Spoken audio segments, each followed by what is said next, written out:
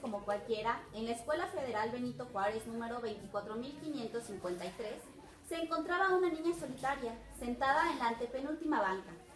Edu Viges, cansada de su día a día dentro del salón de clases donde sufría acoso y constantes críticas de parte de sus compañeros. De pronto, Carmela, la niña fresa del salón, pasa al lado del lugar de Edu Viges y dice, ¡Ash! ¡Qué feo huele! Edu, Edu, la pescosita. Se paró de su lugar otra Al escuchar eso, Edurge se rebeló y comenzó a moler la cates.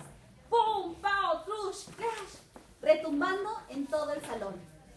Al escuchar eso, la maestra llega, la separa y al fin del día escolar termina con un citatorio para mamá. Eduviges llega triste al jardín de su casa, mostrándole el recado a su mamá. Su mamá, Rosa, se molesta porque no es la primera vez que recibe en el por lo que reacciona muy exaltada y le da semejante golpe. Le dice que está cansada de sus conductas y que es necesario llevarla con el psicólogo para que se le quite lo loco. Al día siguiente, como mamá Rosa lo había dispuesto, llegan al consultorio de la psicóloga Sofía.